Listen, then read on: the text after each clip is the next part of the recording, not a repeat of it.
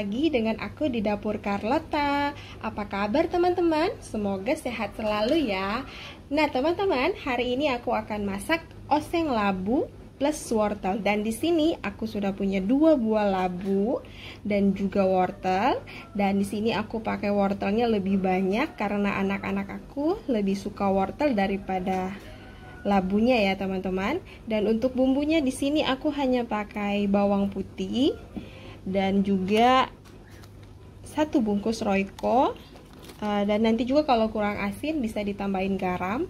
Dan di sini juga ada daun bawang. Ini buat uh, terakhir kalau sayurnya udah matang ya teman-teman. Dan buat teman-teman yang baru nonton video aku jangan lupa ditekan tombol subscribe-nya ya teman-teman. Tonton terus video aku. Dan jangan lupa komen di bawah ya teman-teman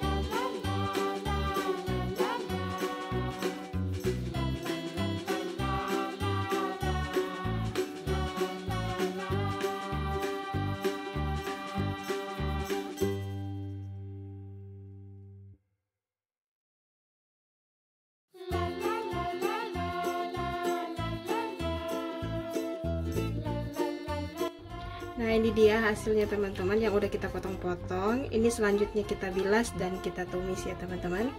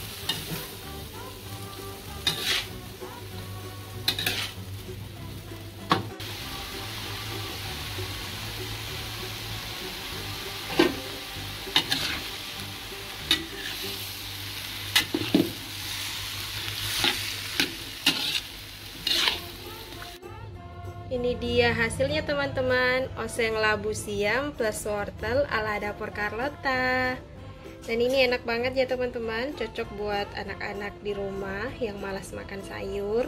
Ini bisa jadi alternatif bunda-bunda di rumah untuk anak-anak Supaya mereka doyan makan sayur.